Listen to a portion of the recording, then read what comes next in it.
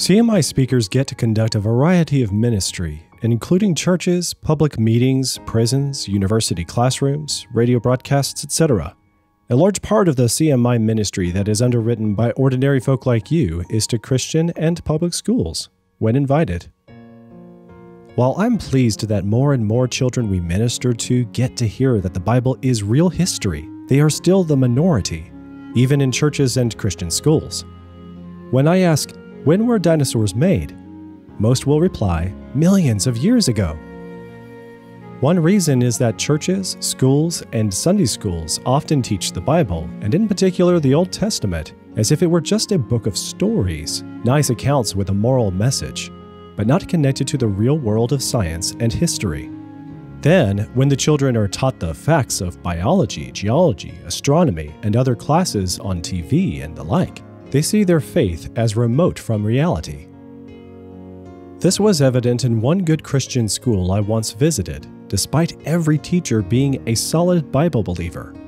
The primary elementary school youngsters were wide eyed and amazed at the things being said, and enthusiastically asked lots of questions.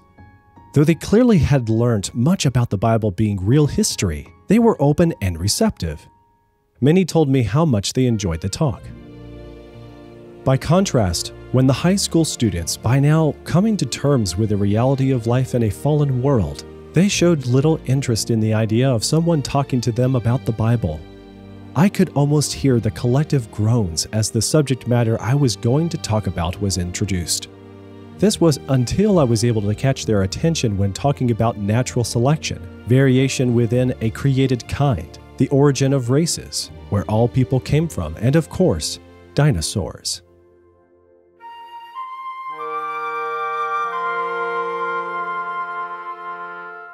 Why Do Children Lose Their Trust in the Bible? by Gary Bates.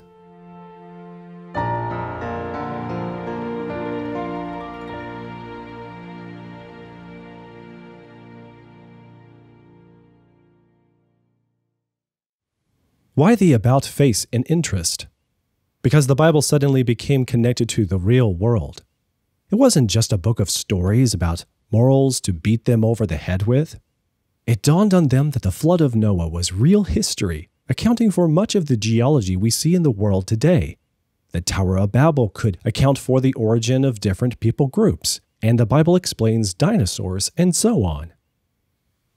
The school had not realized that the Bible needs to be brought into all areas of our thinking, not just left for the Christian studies classes. Unless this happens, our children will be ill equipped to defend their faith against evolutionary bombardment they will receive in higher education.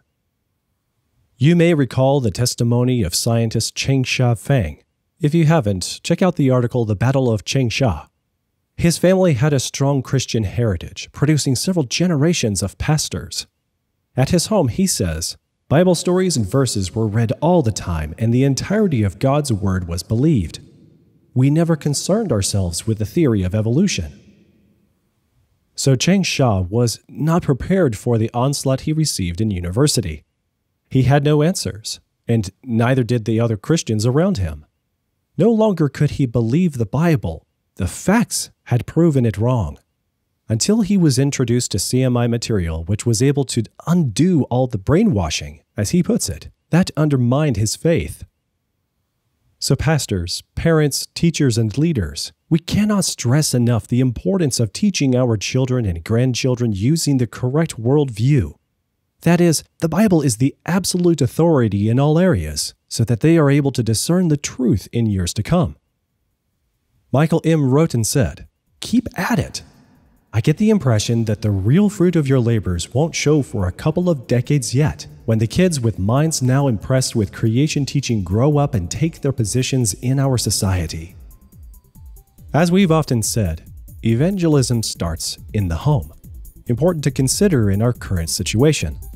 We have great helps for all parents, regardless of how and where your children are educated, in the Parents Corner of Creation.com.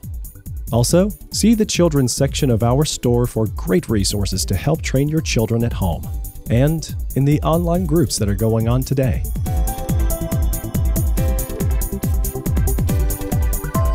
While you're thinking about online educational resources, I need to tell you about one of our best. Dr. Jonathan Sarfati's best selling book, The Genesis Account, is some 800 pages long. Now, this book is arguably the most comprehensive book on biblical creation ever written, and it comes from the author of some of the most well known books on the subject, including Refuting Evolution, which remains the largest selling creation book of all time. So, our team at CMI, the scientists and the specialists and speakers, and the video production team worked very hard for almost two years to bring to you the information of the Genesis account in a Bible study course, and we're excited to tell you that it's available right now the Genesis Academy. This 12 part video course makes it easy to continue the teaching on origins in further depth. Targeted to lay audiences, each video in the 12 part series is no more than 40 minutes in length. So it's ideal for adult and teen Sunday school, Bible studies, or even Sunday night screenings. And while you're at it, during your quarantine. All the presentations have high quality visuals and footage to keep viewers engaged. Many believers are excited to learn more to face skeptics' challenges. Our hope is that the Genesis Academy will become an essential staple for every church. It is so important to get a correct understanding of the Bible's foundational chapters right, and this series achieves just that. Comes with a free online study guide so that you can follow along. Available in the United States, Canada, United Kingdom, and Europe, and a few other countries. Get the Genesis Academy for your group today at creation.com/academy.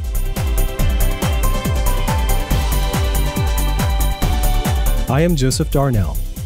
For everyone at Creation Ministries International, thanks for listening.